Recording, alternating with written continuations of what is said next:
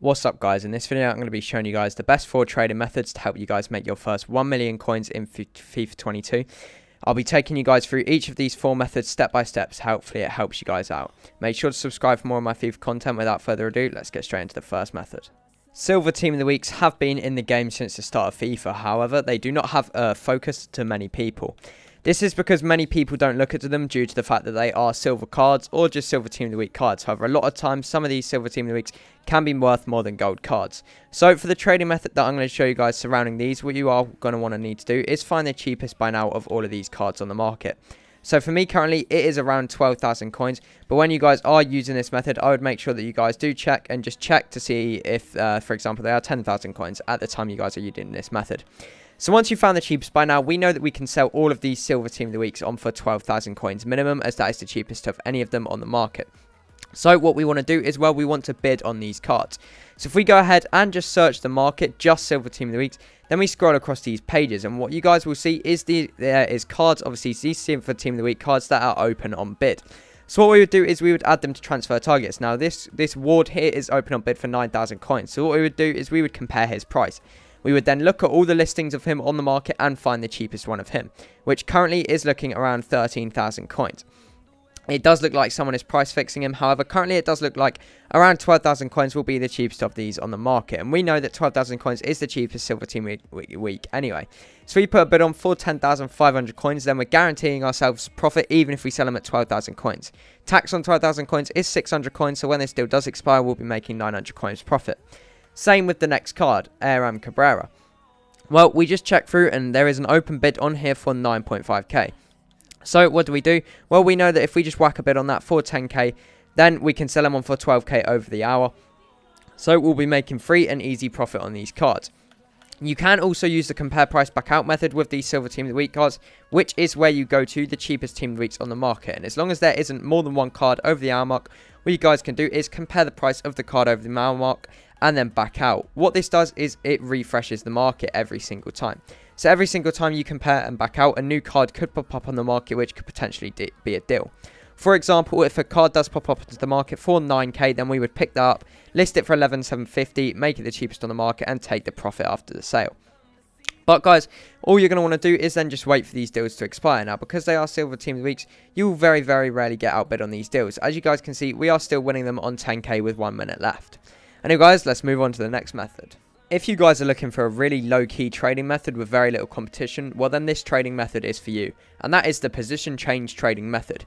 So, for the sake of uh, showing you guys what we're going to be using is cards that have been position changed from the original CDM position to the centre mid position. Now this includes cards such as uh, McTominay or someone like Fred. However, there is multiple cards which you guys can use these for. But what you want to do is find a player either off Futbin or Futwiz that is originally a CDM player and has then uh, you want to search him in the transfer market for centre mid. So for example, just to show you McTominay originally comes out of packs as a CDM. His cheapest on the market is literally 700 coins. However, the CDM to centre mid position modifier is around 3,000 coins. So what will happen is some people will want to convert him to a centre mid. And when they do, they will then list him on the market. Now what we would do is we would search the market and find all these, all the... Uh, centre mid McTominays that there are up. So for example, the cheapest one of him is 4.4k. What you would do is scroll through all of these pages, and now with there, if there was a huge undercut, what is what you're looking for? So if there was a huge undercut, for example, near the 59th minute, there was a 3k McTominay here, we would pick it up and relist it onto the market for 4.3k, as that would make it the cheapest on the market. This McTominay here is at 4.4k and is an undercut of the next McTominay up at 5k. He also does have a shadow chemistry style applied, which is the only centre mid with a shadow chemistry style applied. So what we'll do is pick him up on the market for 4.4k and we will then list him as the second cheapest on the market due to the fact that he does have the shadow, shadow chemistry uh, style applied. So if we list him for 5.3k on the market, then well then when that card does sell on, we'll be taking the nice little 800 coin tax. But it's not it's just not just McTominay. There are many many cards that you guys are can do this with. And what you're looking is for around a, a 10 to 20% undercut on the card's price that is up. So for example, with Fred, normally his cheapest card on the market is around 2.6k with uh, the centre mid uh, position uh, applied there you go, 2.7k. And what we would look for is, well, we would just uh, look through this and see if there was any for like 2,000 coins. Then you would pick it up, relist it on the market for 2.7k. Another thing what you can do while you're using this uh, method is just check that there isn't any going on for bid. So here we go then this Fred here 3.1k obviously we're not going to bid on that knowing that he can sell for 2.7k. But what you would do is just put the maximum price to a price which you're comfortable bidding at. So knowing that we can sell uh, Fred on for 2.7k in the mid position we just want to search for the ones that are open on bid for under 2,000 coins, and we will go bid on these both for 2,000 coins. When they do expire, we can then go and list them for 2,600 coins. And you guys will win nearly all of the cards that you do bid on using this filter. And that is because there isn't much focus on these cards. Obviously, Fred normally as a CDM is a lot, lot cheaper than he is as a centre mid. And not many people are focused on him as a centre mid. So therefore, you guys can win these cards more easily because there isn't many people looking at them. But yet again, there is infinite amount of players that which you guys are going to want to check this for, and you guys are just looking for a big undercut. So you're going to want to use Futbin, as I said, just to look for the biggest undercuts on these cards. But it's very, very simple. Yet again, here with the Bruno Guimaraes, if there was one here for 3k, we'd pick it up, list it for 5k. And that is how you guys do the position change trading method. As I said, there is very, very little competition, and it may take a while for some of these cards to sell on. But if you are patient, these cards will sell even if it is with a couple relistings. Bulk bidding is a trading method that has been around since the start of the game and is very, very helpful to help you guys make your first million coins in FIFA 22. So what you do is you would find some 82, uh, between 82 and 85 rated players. For the sake of showing you guys, we are going to use 82 and 83 rated players. So you go on Futbin and look for, for example, 82 rated players which have a going rate of around 900 coins throughout the day. So this means that they fluctuate to around up to 900 coins at some point throughout the day. And this becomes clear why you need this later. So if we look at Gareth Bale's price, then his cheapest buy now on the market is 750 coins. However, that is currently. So what you would do is you would try and win these cards on bid for 700 coins. Now, Gareth Bale is uncontested at 700 coins. So what you guys would do is just go and win a bunch of these on bid. Now, the reason why you want to win them on bid at 700 coins is because you guys will wait for these to fluctuate up throughout the day.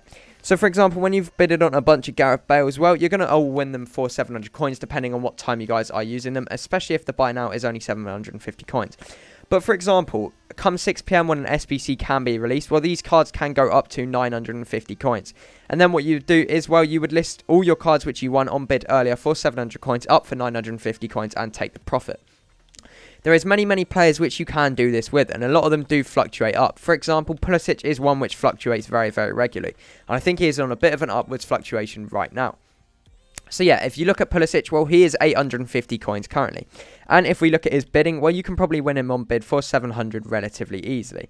So even though there is 50 minutes left, that market is glitched. If you do just compare the price, you guys will be able to see there is more going on open bid here for 750 coins. So if you guys put bids on these cards, such as Pulisic, for 700 coins to 750 coins, well, then you can sell them uh, at times like now when they fluctuate up to around 850 coins. So, the best time to do this method, obviously if there is any snipes, you guys can pick them up like these uh, ones here for 750. But the best time to do this method is early, early morning. This is because not many people are on the game of FIFA, so if you guys can hop on either the companion app if you're not uh, away from your console, or just hop onto your console and bid on these cards early in the morning, well then you can probably win them all for 700 to 750 coins.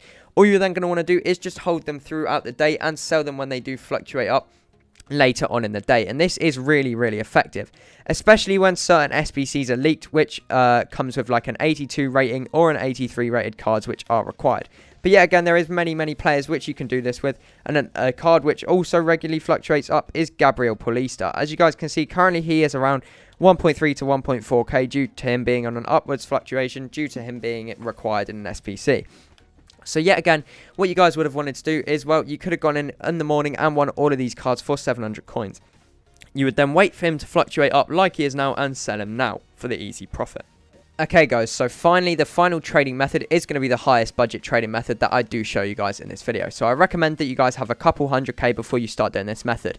And that is going to be the icon trading method. Now, there has been base mid icon, base mid and icons out for a while now in the game. There has also been prime icons been released and prime icon moments. So that leads to there being a range of icon cards that are open on the market. So the first method that you're going to want to do is similar to the Silver Team of the Week method, and that is just search the icon market. What you're going to then do is scroll through the pages until you find an icon with a bid on. It normally does take uh, two or three pages to see an icon with a bid on. However, if you are unsuccessful at seeing an icon with a bid on, well, what you can do is you can just go back and change the max price. So, for example, what you do want to do is just put this max price to around 70k. What this will then do is uh, show you a lot of icon cards which are going on bid reasonably soon. So for example, this Suker card here is going on bid at 70k. What you would then do is check for the cheapest buy now on the market. And if the cheapest buy now was around 20% higher than what he is going on bid, well then you would try and win him on bid for cheap and sell him on for more. So for example, even though Suker isn't, if he was going for 90,000 coins, well you guys would want to try and win this card on bid for anywhere below like 80,000 coins and then sell him on later on. So for example, this Shevchenko here will go for around 75 to 78,000 coins on the market with it fluctuating up. So we can see that he has 5 minutes left on his bid at 67,000 coins. If we pop a bid on that for 67,500 coins, well then when that does expire, then we can sell it on for 77,000 coins and take the profit. What you guys do have to be aware of on this filter is that a lot of the cards you will be outbid on, and that is because there is quite a high focus on icon cards. Unlike Silver Team of the Weeks, these these cards do have a higher focus, focus due to them being more meta in the game. And even if they aren't meta, they are still icon cards, so lots of people still look at them. So if you are struggling to win some of them on bid, well then what you can do is go and do the compare price back out method, or just the 59th method, 59th minute method with icons. What you do for this method is set your max buy now to the amount of coins you have. So currently my coin total is 527k. So all you want to do is put your max buy now and then uh, search the market. Obviously not putting the max price. You then just search the market. What you do is you get given a variety of icons here. So the reason why this method isn't working yet is because you guys have to adjust the max price. So if we adjust the max, if we adjust the max price and put it to around 70,000 coins, well then we search the market. And this is because what it does is it shows you all the icons which have a buy now that is lower than your current coin total and a bid which is under 70,000 coins. And what you do is scroll as quick as you can to the 59th minute. When you reach the 59th minute, well, what you are going to want to do is look at the icons that have just been listed. Obviously, the ones at the 59th minute mark are icons that have just this second been listed onto the market. And you would go through and look at their prices. So obviously, this Claude Makelele here is listed for 351k. You would then compare the price of this card, and you would look for the cheapest buy now. As obviously this uh, Claude Makelele, his cheapest buy now is 360k, so it's not a deal. But had his cheapest buy now have been 400k, well then you would pick it up for 350 and sell it on for 400k. Obviously, I recommend you guys going back a couple minutes, but if you do not find anything on this filter, well then what you do, well you just simply go back out and update the max, uh, the minimum buy now. We know that the card at the 59th minute last time, the most recent card that had been listed was Claude Makelele. But because we have just re reset the filter, well, what's going to happen is new cards will have been listed. So yet again, you scroll back to the 59th minute. Okay, so here we go. All these cards have just fresh been listed. So for example, here, this Henry at 235k, well, you would just compare his price. If he was 270, then you would buy it and sell it on for more. But you guys get the idea. Anyway, guys, that is going to be the four best trading methods in FIFA 22 to help you guys make your first 1 million coins. If you guys do find the video helpful, please make sure to drop a like and subscribe for more of my FIFA 22 content. You can also join my Discord server, the link to which is in the description. Thanks, guys, for watching. I'll see you in the next video. Peace.